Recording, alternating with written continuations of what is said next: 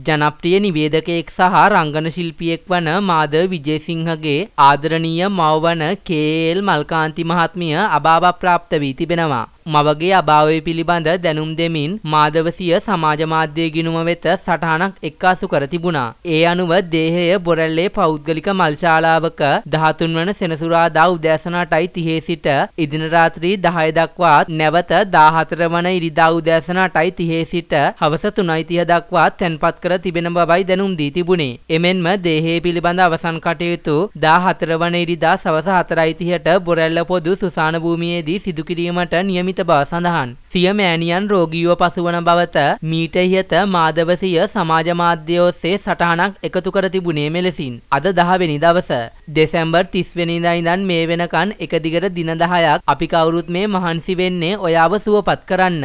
ඔයා මෙහෙම නිදි අතර සිද්ධ වුණු හැමදේම එකින් එක මම කියන්නම්. ඔයා සනීප වුණහම ඉක්මන් නිරෝගී සුවපත් වේවා අම්මේ. යනුවෙන් තමයි මීට පෙර ඔහු සටහන් කර තිබුණේ. මේ කෙසේ වෙතත් මාධවගේ මව අද දින අභාව ප්‍රාප්ත වී තිබෙනවා. මියගිය මල්කාන්ති මහත්මියට නිවන් සුව ලැබේවා.